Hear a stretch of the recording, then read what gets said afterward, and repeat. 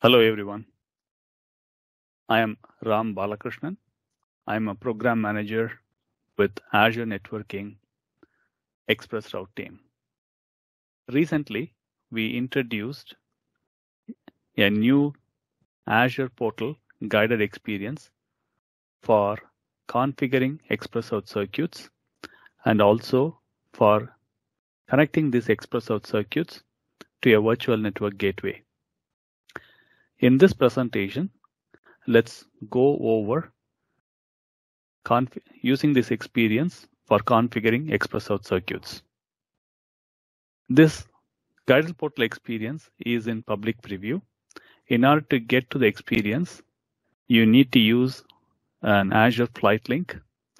And the flight link is aka.ms slash express route guided portal. I have already got this typed into the URL. So once you got into the portal, you hit create a resource and type in express route.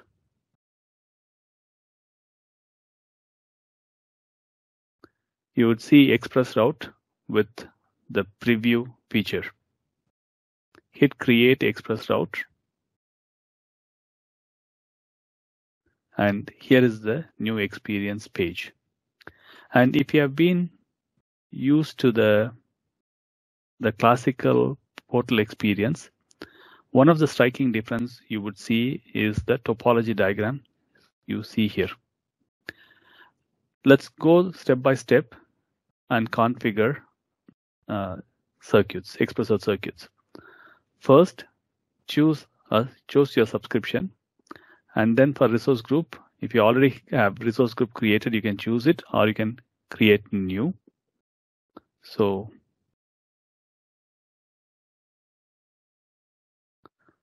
I've chosen existing one.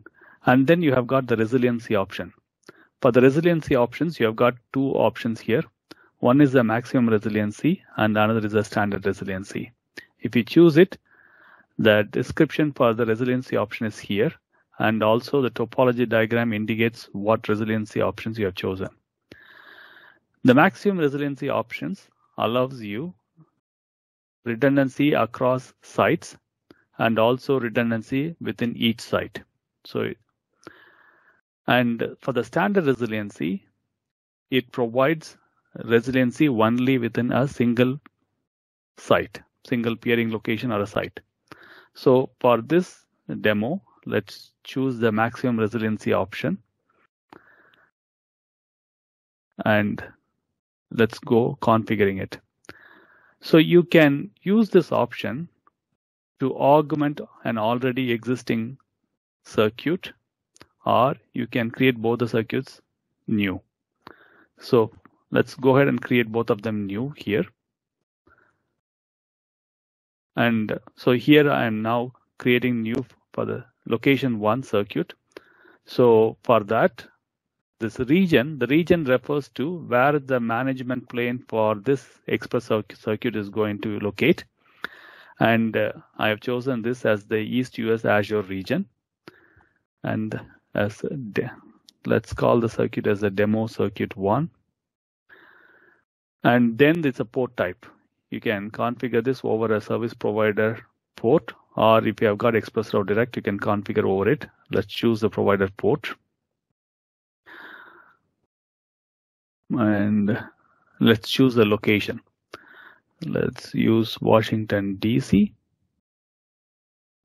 And let's choose a provider for the circuit.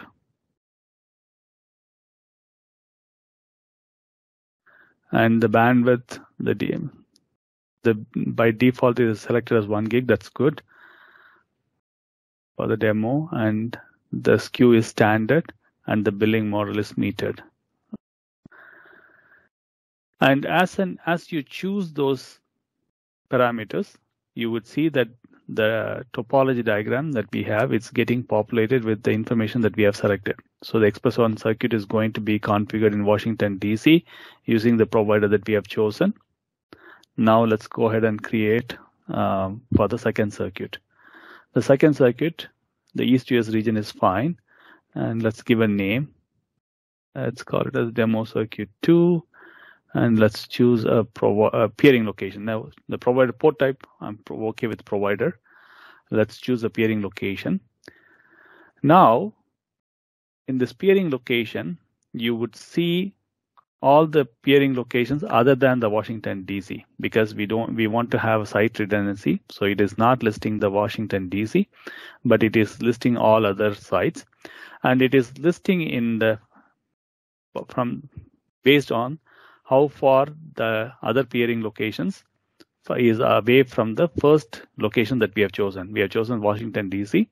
So it is it is listing from the closest uh, peering location to the furthest. That's the order that you have got in.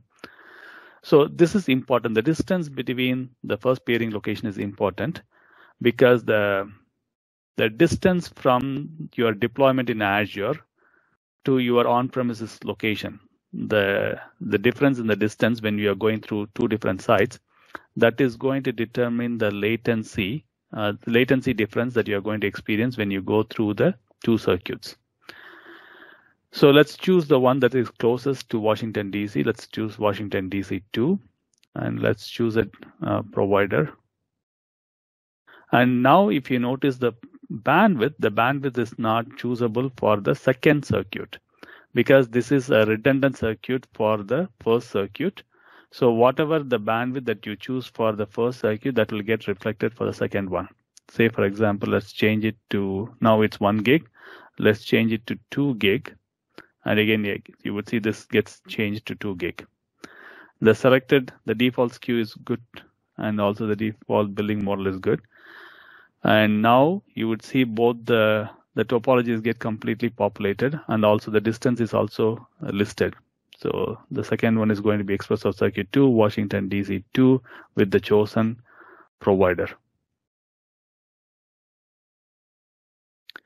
And here is a recommendation. The recommendation is based on the distance, it suggests that you can you can load balance the traffic across both the circuits. To make a fully informed decision regarding traffic engineering, as I mentioned earlier, you need to take into consideration the latency your traffic would experience when flowing through circuit 1 compared to circuit 2 while traversing between your Azure deployment and your on-prem location. In addition to that, you may also want to consider the type of traffic, for example, whether it is real-time or non-real-time traffic. To learn more about how to design traffic engineering between your maximum resilient circuits, check out the document linked uh, to the recommendation. For the demo, we can skip the tags. We are not going to add any tags. We can just directly go to review and create. Once we hit the review and create button, the auto validation is getting executed and we see the validation is passed. And now you see the recommendation is coming on the top. Then the topology is also again listed with all the parameters that we have chosen, the chosen parameters and the distance between the two location. And in the details, all the parameters that you have chosen is also listed in the details. Now, if all of them looks good, you can go ahead and hit create. So while these two circuits are getting created, let's go over some frequently asked questions. Uh, one of the often asked question is, what if I want to have more than two circuits for my multi-site resiliency? If you want more than two, you can configure the first two as we went through the example. After you have configured the first two, then you can come back and for the location one, you can choose one of the uh, previously created circuit.